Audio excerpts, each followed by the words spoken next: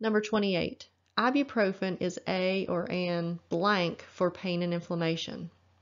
A. Steroid. B. 5-HT agonist. C. NSAID. Or D. Antihistamine.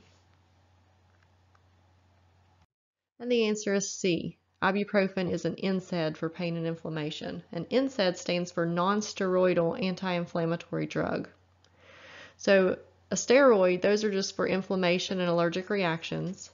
A 5-HT or serotonin agonist is for migraines. And an antihistamine is for allergies. For more practice test questions, click below to see my complete Top 200 Drugs quiz and please subscribe to be notified when I have new videos. Thanks, I really appreciate it.